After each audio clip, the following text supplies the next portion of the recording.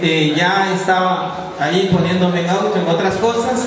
Sé que van a haber estatutos, sé que los conocen más que yo porque han estado en el proceso.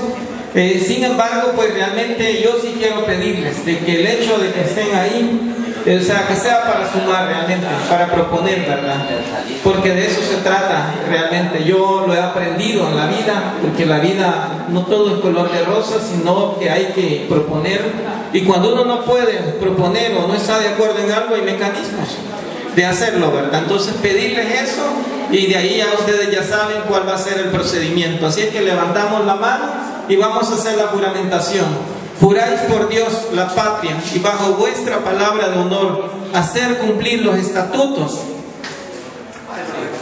Si así lo hiciereis, que Dios y la gente que los ha elegido representando a sus directivas los premia y si no, que ellos mismos los destituyan de sus cargos.